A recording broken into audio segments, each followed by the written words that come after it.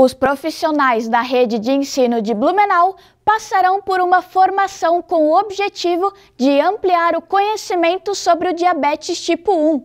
Promovida pelo Programa de Pós-Graduação em Saúde Coletiva da FURB, a formação será dividida em três módulos e terá início no dia 1 de setembro.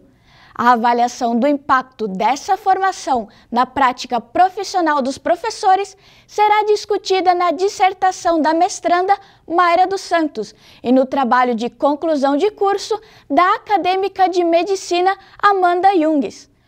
O objetivo principal é reduzir e prevenir as complicações agudas e crônicas decorrentes da falta de gerenciamento do diabetes tipo 1 em crianças e adolescentes durante o horário escolar, partindo do fato de que eles passam parte considerável do dia na escola.